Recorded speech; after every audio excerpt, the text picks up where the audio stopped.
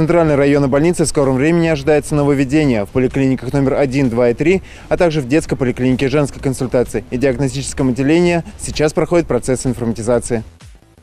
Целью является повышение доступности амбулаторно-поликлинической помощи для пациентов, которые обращаются к нам в поликлинике. Для врачей, конечно, это будет удобно, потому что врач уже будет знать, э, сколько у него пациентов будет на приеме в конкретный день. Каждому пациенту будет уделяться 12 минут в среднем.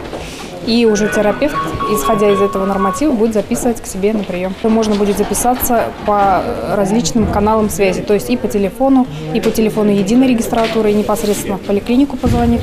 Либо же рекомендуем вызвать врача на дом. Все-таки тяжелое заболевание или высокая температура не является поводом для хождения в поликлинике. Для бабушек сообщаем дополнительно, что можно будет записаться через телефон регистратуры, через единую регистратуру, через терминал который будет установлен в каждой поликлинике. Процесс информатизации поликлиник проводится для удобства как самих врачей, так и пациентов. Записаться на прием и не ждать очередей можно будет уже в первой половине декабря.